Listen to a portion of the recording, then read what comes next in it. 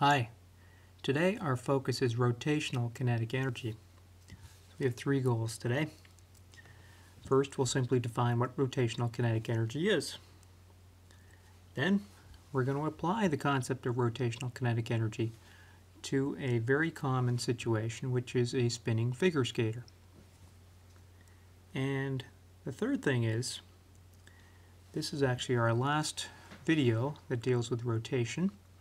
And so we're going to take a few minutes and just look at all the parallels that we have between rotational motion and straight line motion. Okay, so rotational kinetic energy, what is it? Well, if you think about what kinetic energy is, it's energy associated with motion. And so rotational kinetic energy is energy associated with rotational motion.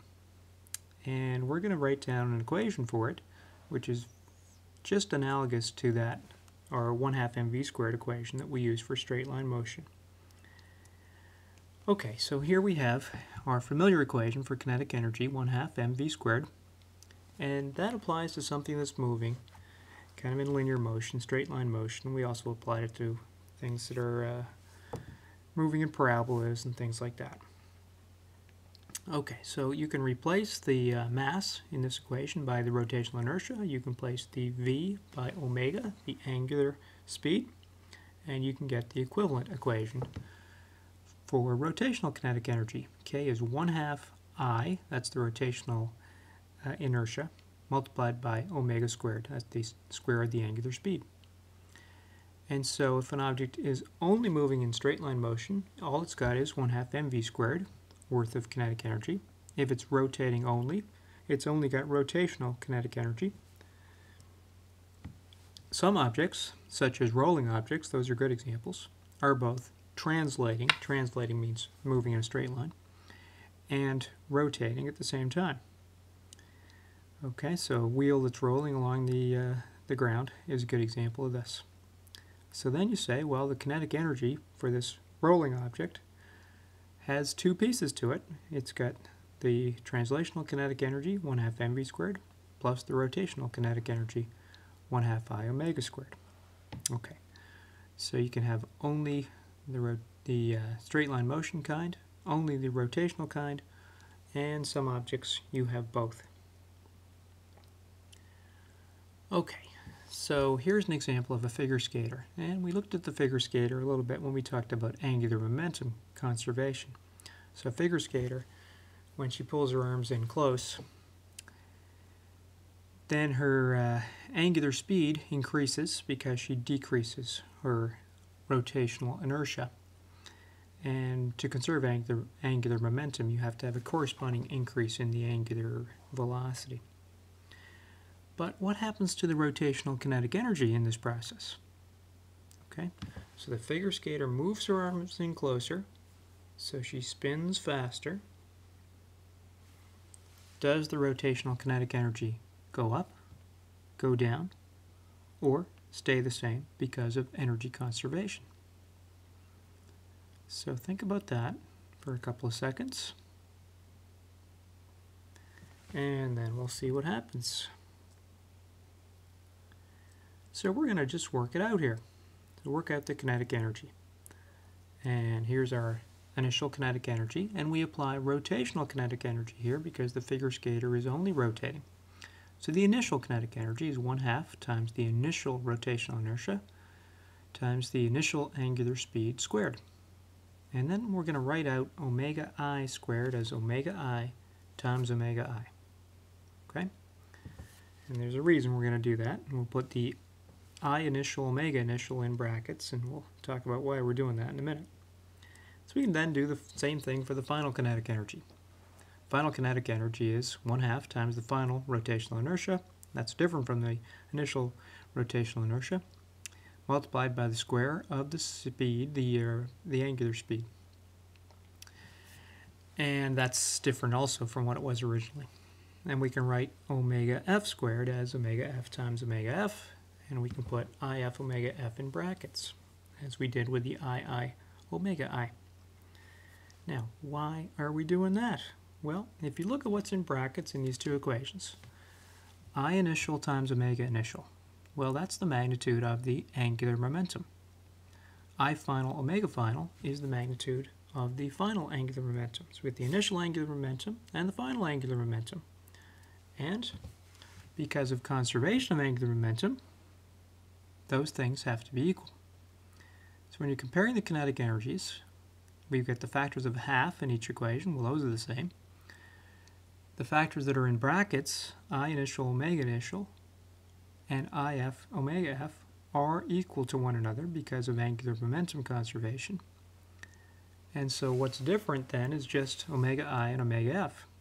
And in this case, the figure skater brings her arms in close and so speeds up, so omega F is larger than omega I. So in this case, her final kinetic energy is bigger than the initial kinetic energy. Okay? So then you have to ask yourself, you know, where does this extra kinetic energy come from? Because, you know, energy just can't show up from nowhere. Okay, so something has to put this energy into the system. So where does that come from? So if you think about it, the only place it can come from is the figure skater herself. And so what happens is it actually takes some effort, some force for that skater to bring her arms in. So when she's spinning, her arms want to really be far out from the, her body. So her, she has to do work, positive work, exerting an inward directed force on her arms. So the displacement is inward, the force she exerts on her arms is inward. And the work that she does actually shows up in the system as an increase in rotational kinetic energy. So that's kind of interesting. So in this figure skater example, angular momentum is conserved, but rotational kinetic energy is not. Okay, so that's uh, that's our introduction to rotational kinetic energy. And now we're just going to go back and kind of summarize sort of everything we know about straight line motion and its rotational counterpart. Okay, so we'll do two screens worth of this stuff. So we get a bunch of variables that we found to be useful for straight line motion, such as position, velocity, acceleration, and all of those variables have rotational equi equivalents. Theta, to measure angular position, omega, angular velocity, alpha, angular acceleration. And you see, you can connect the straight line motion variables to the rotational variables just with a factor of r. Okay, so divide the straight line motion variable by r, and you have the rotational variable there. Okay, so the, we've got position, velocity, acceleration, and then we have what produces acceleration. Well, to produce an acceleration, you have to have a net force. If you're talking about acceleration A, if you want angular acceleration alpha, well, you need a net torque. And of course, there's a connection between force and torque as well. Torque is the magnitude of the torque, at least, is the magnitude of the distance, the forces from the axis of rotation, multiplied by the magnitude of the force, multiplied by the sine of the angle between the line you're measuring distance along and the line of the force. Then we have inertia. Inertia is kind of an object's tendency to uh, not to accelerate, in a sense. Okay, so the best measure of that for straight line motion is simply the mass. For rotational motion, we need the rotational inertia, which involves the mass, how the mass is distributed, and what axis you're rotating around. And rotational inertia, remember, is some constant c times mr squared. And the c depends on what the shape is and what axis the object is being rotated around. Then we have momentum. Momentum, we've got a nice straight line motion uh, variable we call p and an equivalent thing for rotational motion, angular momentum, and that is denoted by L. And there's a connection between the angular momentum and the linear momentum, which is very similar to the connection between torque and force. L is RP sine theta. Okay, so then we'll look at a few more things. We've got Newton's second law. So for straight line motion, that's the sum of all the forces added up as vectors is the mass times the acceleration. For rotational motion, we have an equivalent equation.